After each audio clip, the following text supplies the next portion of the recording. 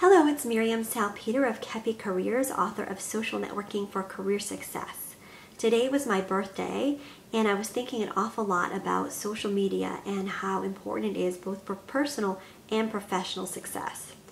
I received a lot of great birthday messages from all over the country via Facebook and Twitter.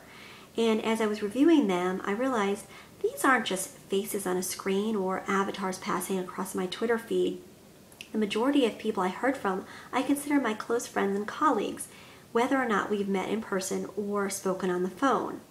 It was a great reminder to me of one of the wonderful values of social media, which is the opportunity to enhance the number of people who know about you and to expand the number of people you know.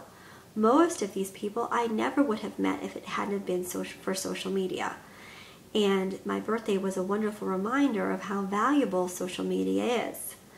Another thing I thought about was another lesson I often talk to job seekers about, which is that social media gives you an opportunity to learn things you wouldn't otherwise know. I'm sure I'm learning constantly from my community via reading Twitter feeds, keeping up with blogs, sharing comments, engaging online with people who are in my field.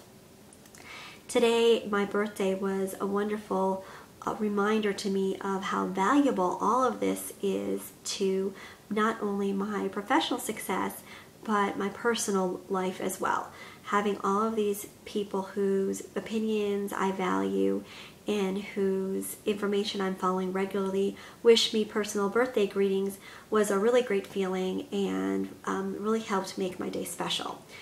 I hope that my inspiration helps inspire you to consider social networking an opportunity not only to share what you know and to demonstrate your expertise, but to create a community of people whose information you value and who value you both for your personal and professional uh, insights.